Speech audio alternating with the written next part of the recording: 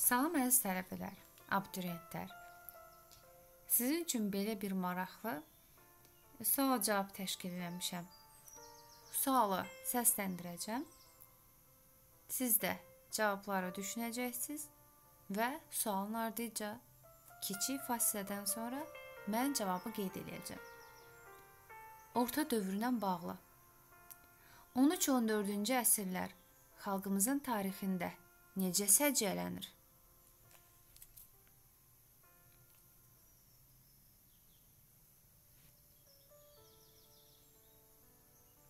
13-14-cü əsrlər xalqımızın tarixində mürəkkəb ictimai-siyasi hadisələrlə zəngin bir dövr kimi səciyyələnir. Bu dövrdə ictimai bədii fikirdə mühüm rol oynamağa başlayır. Söhbət nədən gedir? Yəni bu dövrdə ictimai bədii fikirdə nə mühüm rol oynamağa başlayır?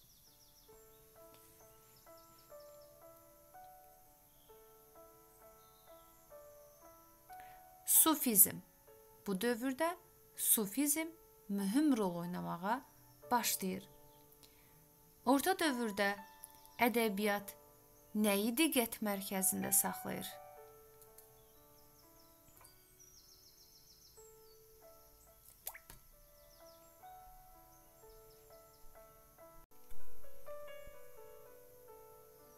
İlahi eşq və ilahi gözəlliyi tərənnüm edən fəlsəfi irfani şeirlərdə sevgili, gözəl məzmunu daşıyır. Söhbət nədən gedir?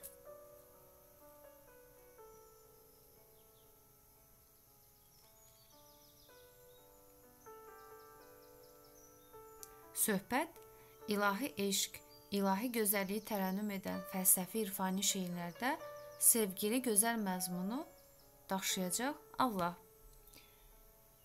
Bu dövrün ən mühüm ədəbi hadisəsi nədir? Orta dövrdə ən mühüm ədəbi hadisə nədir?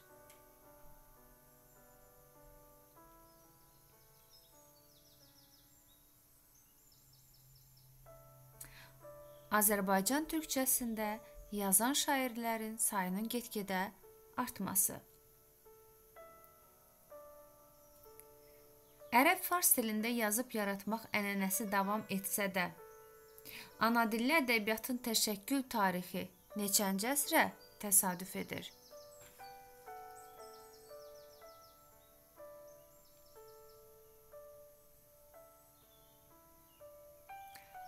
Ana dilli ədəbiyyatın təşəkkül tarixi 13-cü əsrə təsadüf edir. Ana dilli ədəbiyyatımızın ilk nümunələri kimlər idi?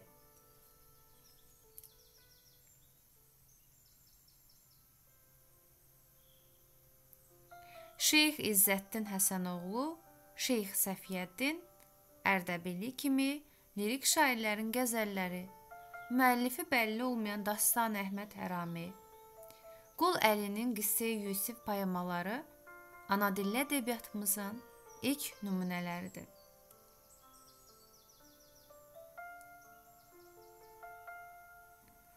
Bu dövrdə ana dilli poeziyamızda dünyəvilik, dərin ictimai fikir, sufi mistik ideya və obrazlara kimin şeirlərində rast gəlmək olar?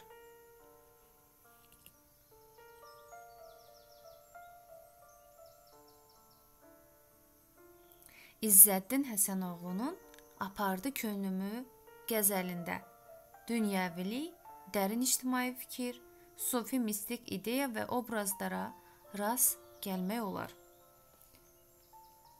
İrfani fəlsəfi düşüncələr kimin şeirlərində, əsərlərində öz əksini tapır?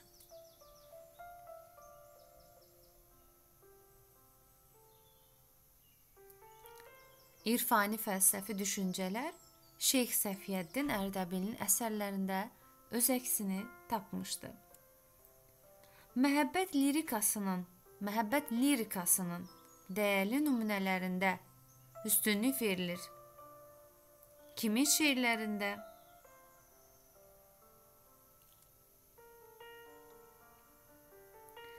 Zülfiqar Şirvaninin Farsça divanında olan, yəni daxil olan şeirlərində məhəbbət lirikasında daha çox dünyəvi məhəbbət, real gözəlin tərənnümünə üstünlük verilir. Zülfiqar Şirvaninin divanı hansı dildə idi? Farsça idi. Ana dilində yaranan ədəbiyyatın əvvəlki dövrlərə nisbətən daha güclü mövqe tutmasının səbəbi nə idi orta dövrdə?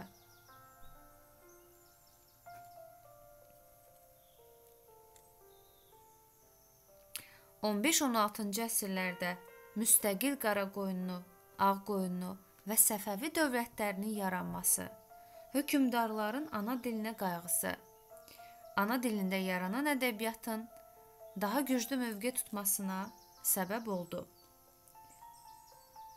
Bəs bu dövrdə farsça yazmaq ənənəsi zəiflədi. Niyə? Səbəb nə oldu?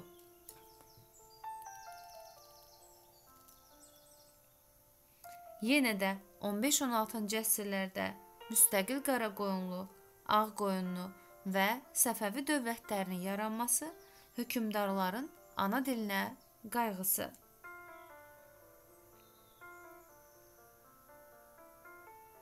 Mövzu və obraz baxımından inkişaf edən anadilli poeziyanın nümayəndələri kimlər idi?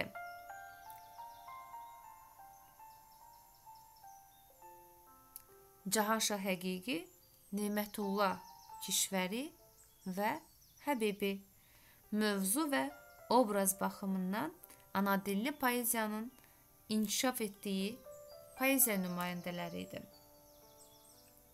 Bu dövrün şeirində nələr özünü qabarıq göstərirdi?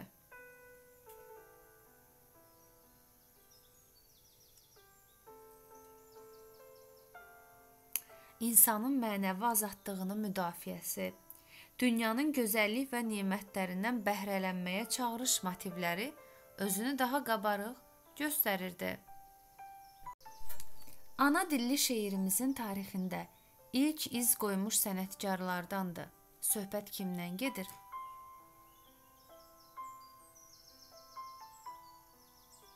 Söhbət Şeyx İzzəddin Həsənoğludan gedir.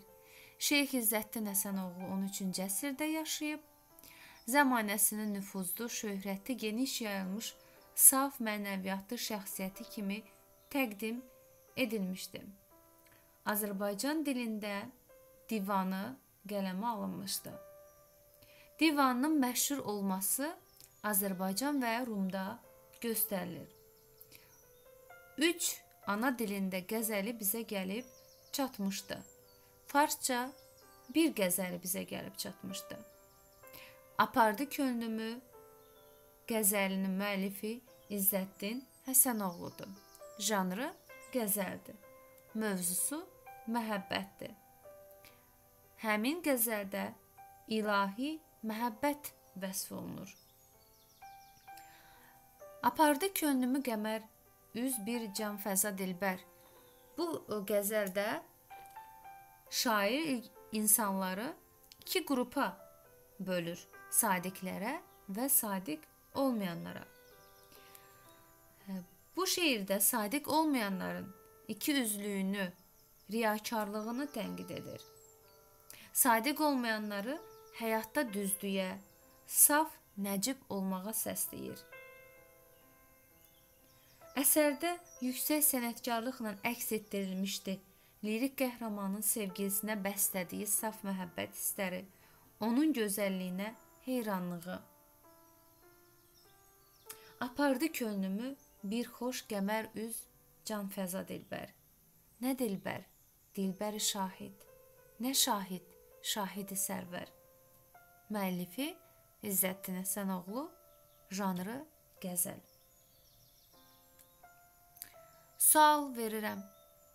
13-cü yüzilliyin ana dilində olan epik poeziya örnəkləri hansıları idi?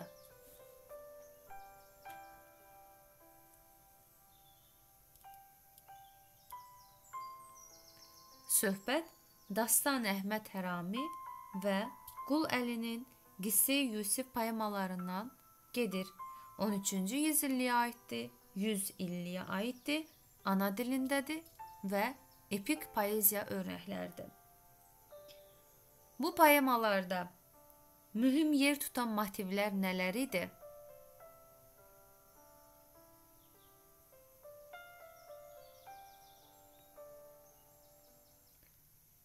Adını çəkdiyim poemalarda xeyirlə şərin mübarizəsi, İslam dininin yüksək humanist dəyərləri, ədalətə, insansevərliyə, insaf və etiqada dəvət əsas motivlər sayılır.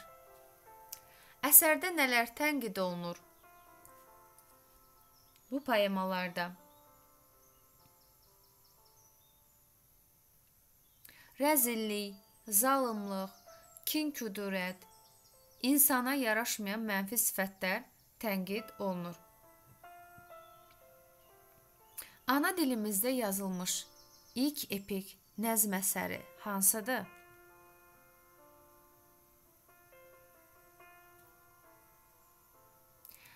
Dastani Əhməd Hərami Müəllifi məlum deyil.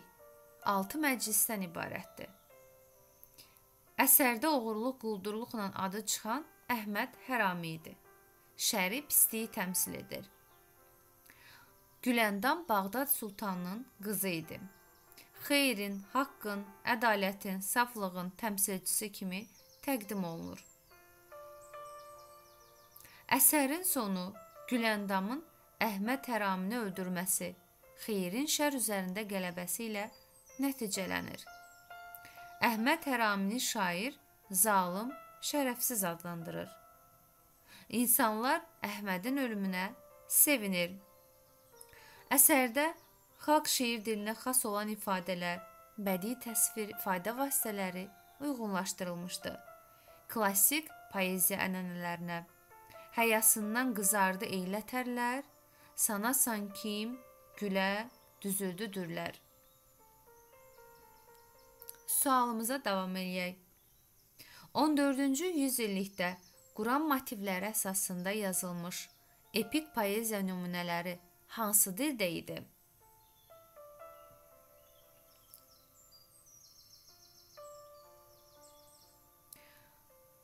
Həmin poemalar, poeziya nümunələri ana dilində idi.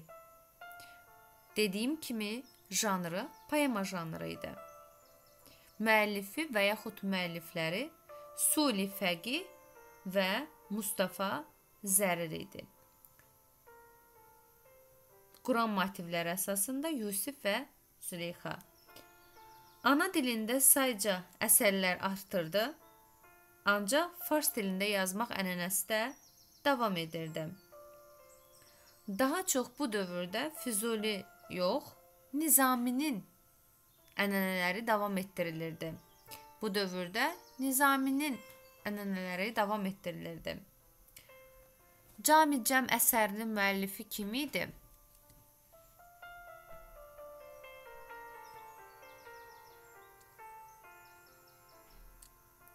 Cami Cəm əsərinin müəllifi Marağalı Övhədi idi. Dəhnamə əsərinin müəllifi kim idi? Marağalı Əfhədi Camicəm və Dəhnamə əsərinin müəllifi idi. Fərhadnamə poemasının müəllifi Arif Ərdəbilli. Mehir və müştəri janrı poemadır. Müəllifi Əssar Təbrizi. Qazi Bürhanəddinin yaradıcılığı dünyəvi poeziyanın örnəyi kimi dəyərləndirilirdi, dəyərləndirilirdi Türk ədəbiyyatında. Qazi Bürhanəddinin divanı var idi. Ana dilində idi. Bu divanda tuyuqdan daha çox istifadə etmişdi. Tuyuq sırf türk şeiri janrı idi. Qazi Bürhanəddinin yaradıcılığında qəhrəmanlığı, mənəvi dəyərləri əks etdirən tuyuqlar mühüm yer tutur. Tuyuqlarda öz geniş əksini tapmışdı nələr? Sənətkarın dünya görüşü, həyat hadisələrinə, mənəvi problemlərə münasibəti. Şairin tuyuqlarının lirik qəhrəmanı belə bir igid idi. ölümdən qorxmayan, haqq işi yolunda baş qoymağa hazır olan. Həmin qəhrəmanı səciyyələndirən başlıca cəhətləri mərdlik, mübarizlik, cəsarət, düşmən qarşısında əyilməzlik. Özünü əşşeyx bilən sərdar bolur. Ənəl-həq dəvi qılan bərdar bolur. Ər oldur haqq yoluna baş oynaya. Döşəkdə ölən yiğit murdar bolur. Bu Qazi Bürhanəddin'indir. Janrı tuyuqdur.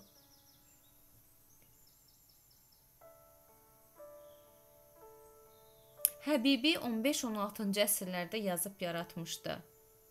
Bənövşə qoşmasının müəllifi Qurbani idi. Qurbani Xətaini özünə mürşidi hesab edirdi. Qurbani gəraylı qoşma janrlarında yazmışdı. Əziz şagirdlər, orta dövrlə bağlı bu qədər məlumat yetirdim sizlər üçün, hazırladım. Ümid edirəm sizin üçün faydalı olacaq. Hər birinizə uğurlar.